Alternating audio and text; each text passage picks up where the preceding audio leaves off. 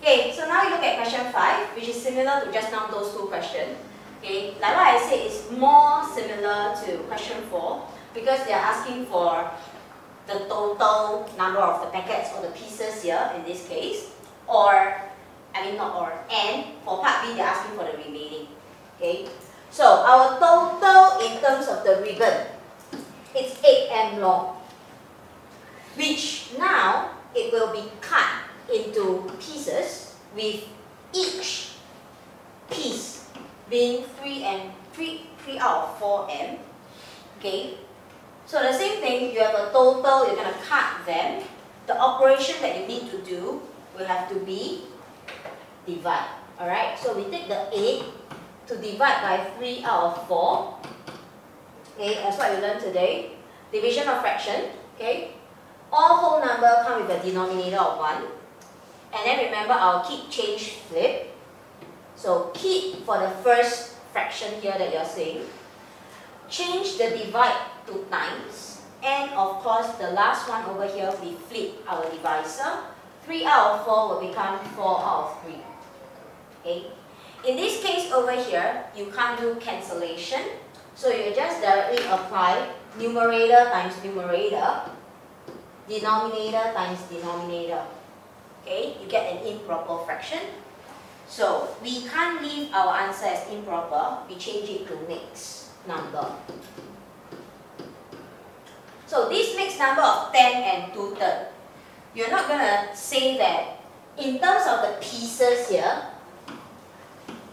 you're not going to tell us that we have 10 and 2 thirds piece like that, right?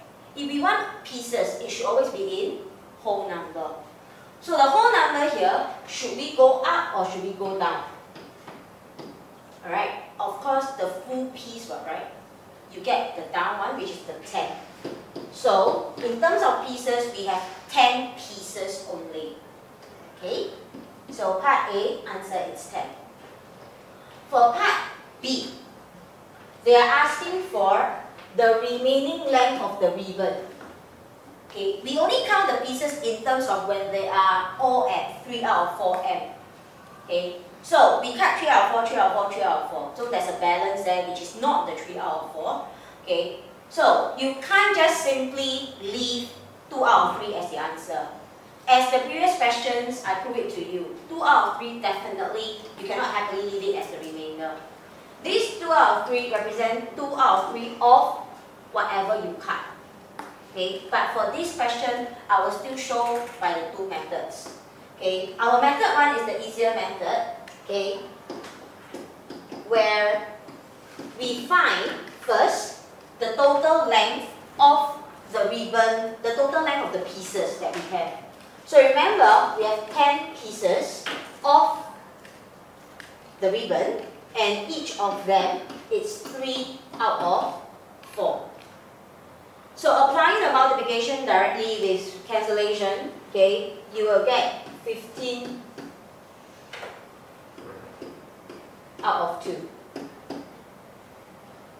Okay, numerator times numerator, denominator times denominator. And again, you get improper, right? We change it to mixed number, 7.5. So this is the total length of the cut, right? So to get our remaining, we take our total length of the ribbon minus whatever that has been cut into pieces. Okay, the remaining here should just be half. So it's half a meter. Okay, but of course this is the easier understanding, right? Where you we find the total length of the cut, then we use our total ribbon at first to minus away what we have cut. Okay, so the other one, if we use it, it's kind of like a shortcut, right? But it needs you to understand that for this one here, the two-third, the fraction, this two-third is of the piece, the length of the piece that we cut into. So of in mathematics is times. So we take two-third times the 3 out of 4. Okay, and you go and do the cancellation for this, you directly, you can see that you get the half here as well for the answer. Alright, just remember when you write it down, because it's remaining length of the cloth, you need the measurement unit. For the pieces, there's no measurement unit, so that's why you don't need the M there. Okay?